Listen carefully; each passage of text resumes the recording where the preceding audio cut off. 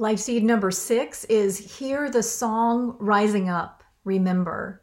This life seed will support you as you reconnect to your essential self and it will lead you to a whole new way of seeing yourself and the world around you. Today's passage is called Waking Up.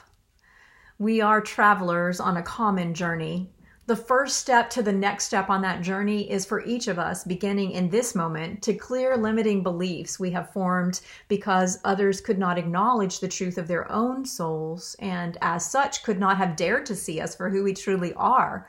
The next step to the next step is to see our way back to the beauty of who we are and to celebrate that wildly. There are easier ways to wake up than for your entire body to reverberate to the sound of a harsh doorbell at six o'clock in the morning. Yet this is the situation you now find yourselves in. Listen to the gentle hum of your life. Almost imperceptible at first, it will stir you back into the opportunity of this moment. In the stillness, there is a song that will rise up within you and it is unlike the song of any other. It is yours alone to sing, and in the singing you will remember.